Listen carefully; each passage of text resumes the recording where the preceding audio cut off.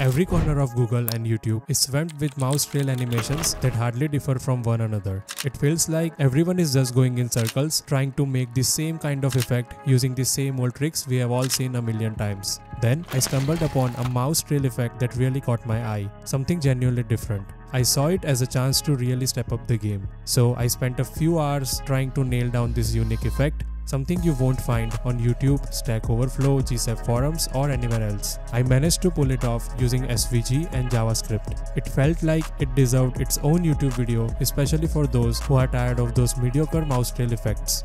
If you find this video helpful, don't forget to hit that like button and hit subscribe if you haven't already. Let's not wait any longer and dive right into how you can add this dope cursor animation to your site too. Alright, we are diving into SVGs to get this animation off the ground. First up, I am adding an SVG element to our HTML. Inside this SVG, I will add a path element. For those who might not be familiar, paths are super versatile. They let us draw anything from simple lines to complex shapes. Now, the key factor for any path is its D attribute which defines its shape.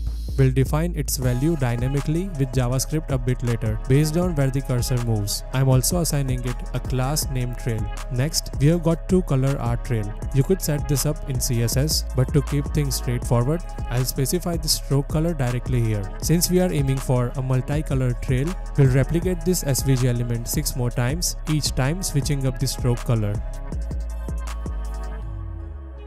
And that's the setup we need on the HTML side. Time to add some basic styling to page using CSS. First off, we are setting the background of the entire page.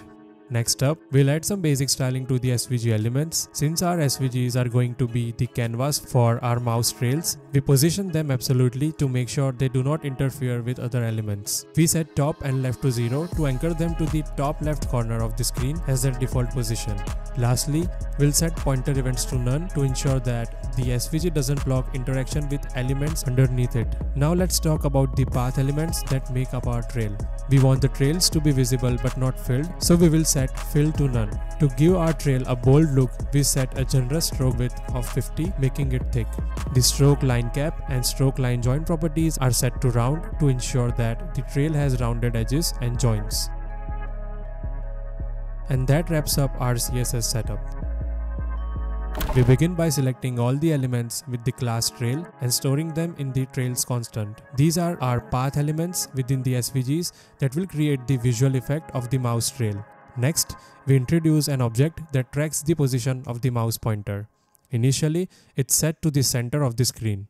The total points array is an array that defines how many points each trail will have. This creates a varied effect where some trails are longer and others are shorter. We then listen for the mouse move event. When the mouse moves, we use GSAP's to function to smoothly animate smooth pointer's position to the new mouse coordinates over 0.5 seconds with some easing. This smooth transition is what gives our mouse trail its fluid easing effect which makes it visually appealing. Inside our update path function, we loop through each trail.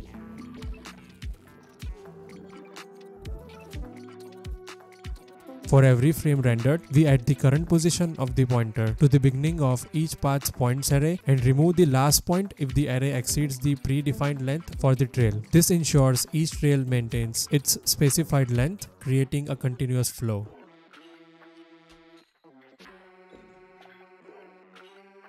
We construct a path string starting with a move to command to the first point followed by line to commands for each subsequent point in the array. This string is then set as the D attribute of the path, rendering the actual trail on the screen.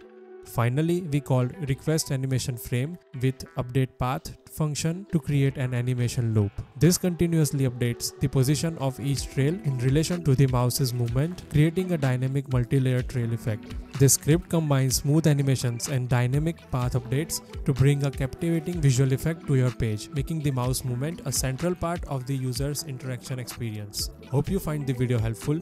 See you in the next one.